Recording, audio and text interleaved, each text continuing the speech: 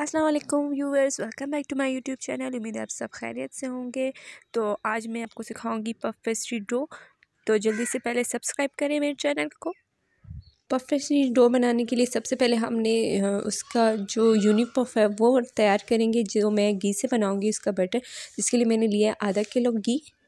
और चाहिए मुझे बर्फ़ और ठंडा पानी। और इसको मैं तो सबसे पहले मैं इस ऑयल को फुल गर्म कर दूँगी। इतना हम इसको गर्म करेंगे, इसकी स्मेल है, घी की, वो ख़त्म हो जाए। और ये अब घी गर्म हो गया। और इसको हमने इतना ठंडा करना है ताकि हम उंगली डालें और वो जले ना। तो पंद्रह मिनट हम इसको ठंडा होने के लिए रख देंगे और अब ये घी हमारा ठंडा हो चुका है। तो मैं इसमें बर्फ़ ऐड करूँगी।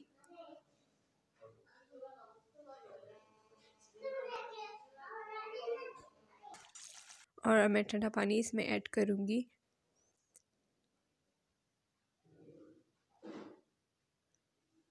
देखिए, अब घी वापस से जम गया है और मैं इसको अब दाना दाना करेंगे इसको।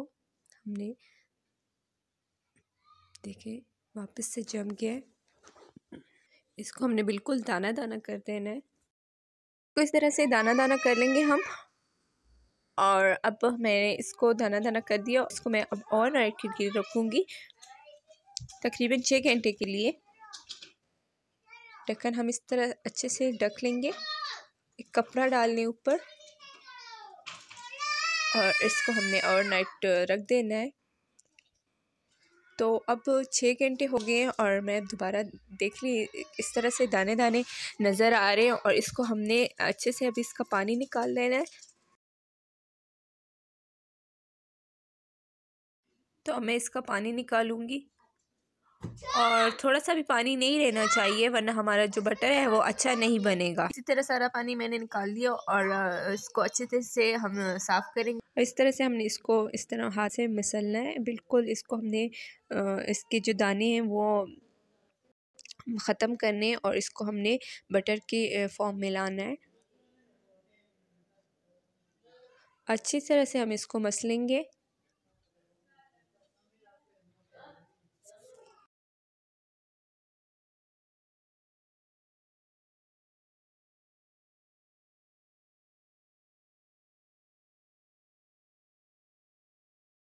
बहुत मज़े का ये प्रोसेस है। मुझे तो बहुत मज़ा आता है इसको करने में तो आप भी ज़रूर ट्राई करेगा और अगर आप की, के यूनिफॉर्म और पेस्ट्री की डो घर में रेडी हो जाए बिल्कुल ही ये लो बजट में है।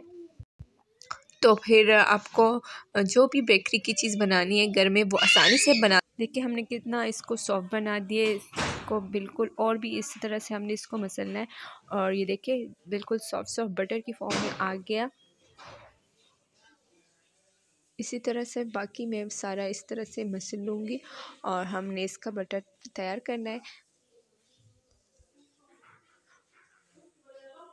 बहुत ही आसानी से अब आप इसकी डो रेडी कर सकते हैं पफ पेस्ट्री की डो और ये हम बना के दो महीने के लिए रख सकते हैं। तो अब ये, अब बटर हमारे रेडी हो चुका है और इसको हम अच्छे से साफ़ करेंगे। कोई भी चीज़ ज़ाया नहीं होनी चाहिए।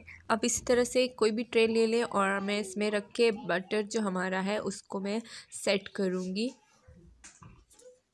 ट्रे लेके मैंने इसमें बटर पेपर रख दिया और इस पर मैं अब ये सारा जो बटर है, वो घी का बटर, उसको हम कह सकते हैं। तो इससे हम इसके शेप बना लेंगे अच्छे से। और अब मैं इसको रखूँगी छः घंटे के लिए फ्रीज़र में और आप इसको दो महीने के लिए स्टोर भी कर सकते हैं। तो छः घंटे के बाद जो बटर है हमारा अच्छे से सेट हो चुका है और अब मैं डो बनाऊँगी। तो डो बनाने के लिए हमें जो चीज़ें चाहिए वो है दो कप मैदा और एक गिलास पानी हाफ़ कप घी ऑयल और one tablespoon sugar half teaspoon salt बहुत ही ईजी है ये डो बनाना। तो सबसे पहले हम क्या करेंगे? जो हमने ऑयल लिया और पानी लिया है, पानी में सब चीज़ें मिक्स करेंगे। इनको सबसे पहले हम अच्छी तरह से मिक्स कर लेंगे।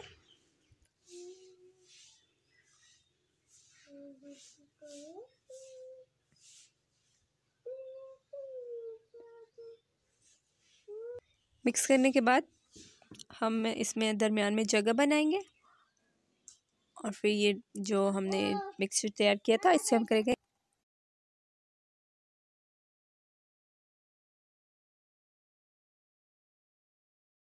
इस तरह से हम मिक्स करेंगे।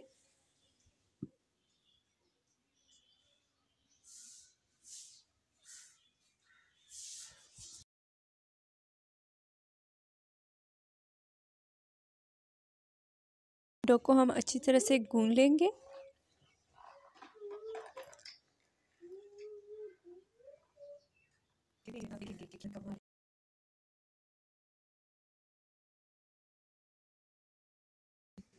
तो डो भी हमारी रेडी है। इसको मैंने इस तरह एक बाउल में रख दिया और गीला कपड़ा ढक के हमने इसको आधा घंटे छोड़े। आधा घंटा हो गया और अब डो हमारी रेडी हो चुकी है। तो अब जो मैंने बटर घी का रेडी किया था, उसमें हम इसको दोबारा से फोल्ड करेंगे।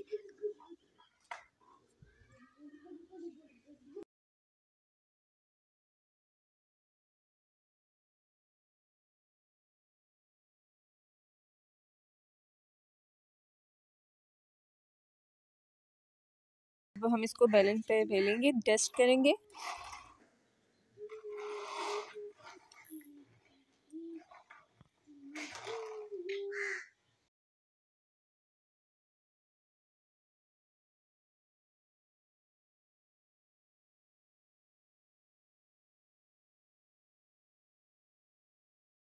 और इसकी हमने बड़ी सी एक रोटी बना देनी है।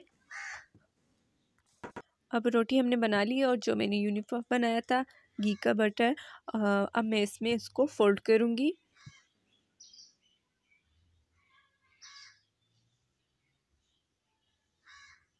इसका मैं हाफ़ लूँगी, हाफ़ बाद में मैं रख दूँगी फ्रीज़र में, जब भी मुझे चाहिए होगा तो मैं ले लूँगी।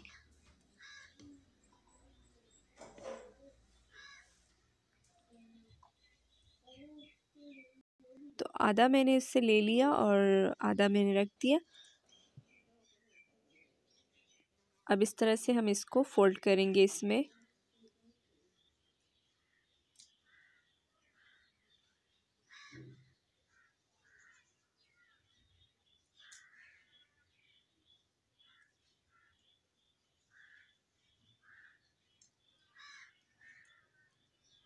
इसको प्रेस करते जाएँ।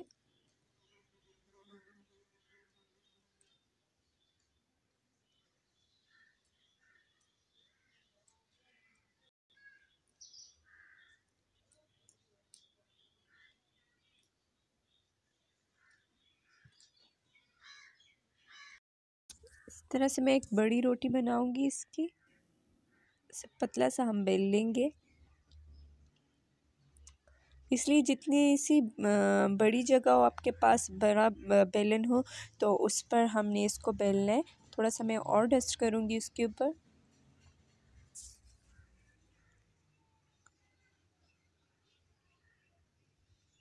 मेरे पास भी थोड़ी सी कम है ये जगह बेलने के लिए, लेकिन फिर भी काम चल जाएगा। जितना बड़ा हो आपके पास सरफेस उतना आपको इसका जो डो होगा वो अच्छी सी इसकी डो बनेगी।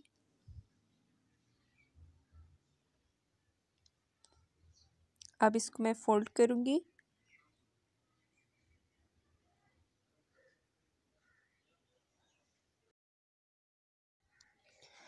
और ये फ़ोल्ड हो गया, थोड़ा सा इसको प्रेस करें और इसको मैं रख दूँगी। ट्रे में। तीस मिनट के लिए हमने इसको रेस्ट पर छोड़ देना है। गीले कपड़े से कवर करेंगे। आधा घंटा हो गया और अब दोबारा से मैं अब डोलूँगी और इसको हम दोबारा से बेलेंगे। टेस्ट करेंगे पहले।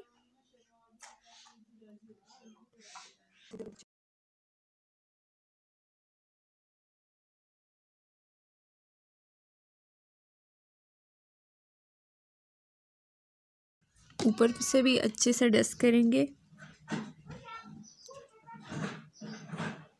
और डस्ट करने के बाद हमने इसको फिर से इसकी रोटी बनानी है बड़ी सी।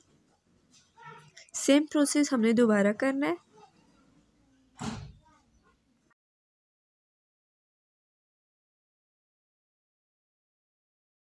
दोबारा से हमने इसकी रोटी बना देनी है और इसको बेलना है। बड़ा सी, बड़ी सी इसकी रोटी हम बनाएँगे।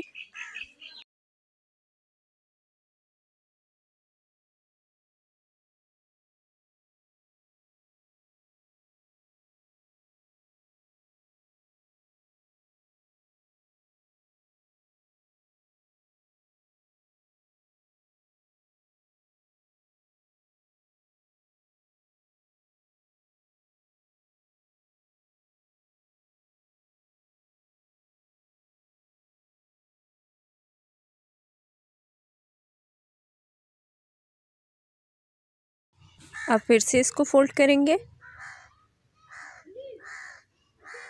दोबारा से हम इसको तीस मिनट के लिए रख देंगे। गीले कपड़े से कवर करेंगे। तीस मिनट और अब दोबारा से हम वही प्रोसेस करेंगे। डस्ट करेंगे।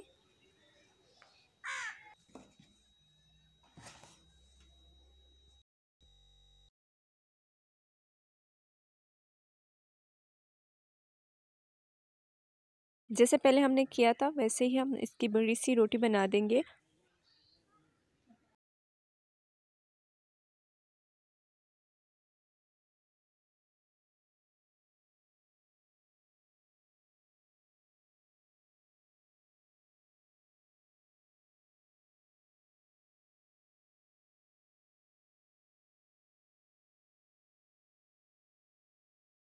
अब फिर से फोल्ड करेंगे।